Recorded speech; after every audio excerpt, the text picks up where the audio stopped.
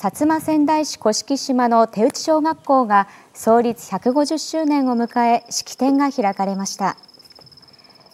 手打小学校は1874年明治7年に創立。多い時は児童660人余りが通いましたが現在は14人となりました。式では集落の歴史がスライドで上映されたほか幼少期を甑島で過ごした俳優の小倉壮和さんが講演しました。小倉さんが甑島での思い出を話すと涙ぐむ人もいました。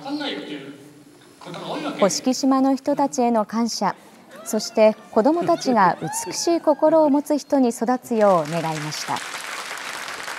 撮影は甑島のふるさと特派員倉野和夫さんでした。